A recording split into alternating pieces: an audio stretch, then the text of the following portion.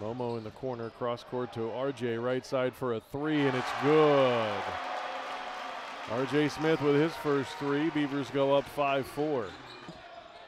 Right side Smith for a three, and it's good. RJ Smith swirled it around a couple times before it fell in. Just to Sutherland at the right elbow. Sutherland over to Williams for another three, and it's good. This time from the left wing for Braden Williams. Graves hands off to Otto. Then the pass is stolen by Tennyson ahead to Williams. Williams passes right side to Kone. Kone drives the baseline, loses the ball on the way to the basket. It comes out to Tennyson for three, and it's good.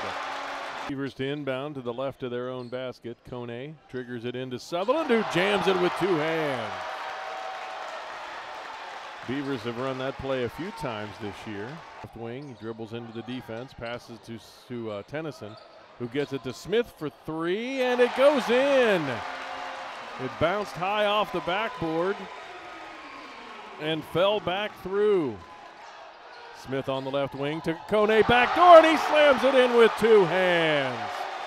Who needs a three pointer when Kone can take it home with two hands like that? Fink looks underneath for Okoye, who's wide open. Shot is blocked from behind by Kone. Williams down there, the center circle for Smith. Left wing Kone. Backdoor cut to Sutherland, who puts it in.